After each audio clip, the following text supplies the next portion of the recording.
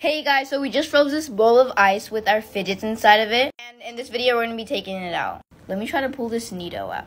That was easy. I'll let this chill in the sun for now. Now let's break the rest with the hammer. Oh my gosh, this is so hard.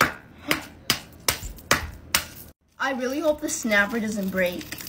Okay, now I'm going to try to get the snapper out. Oh my gosh.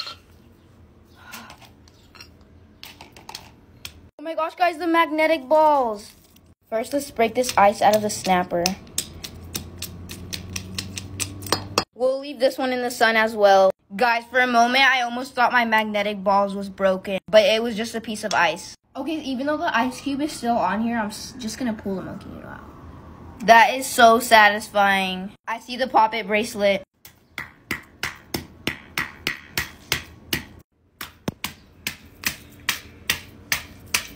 My gosh, it's stuck in this big old bowl of ice.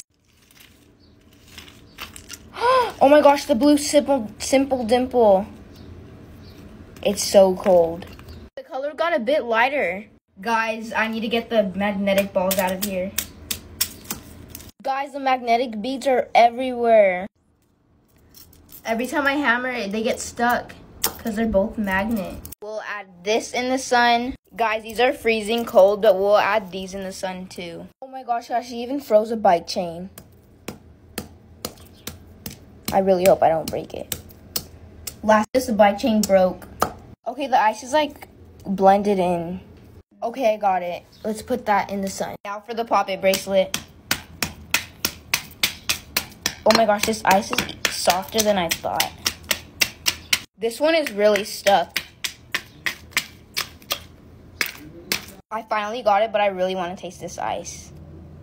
Not bad. Comment if we should freeze some more fidgets.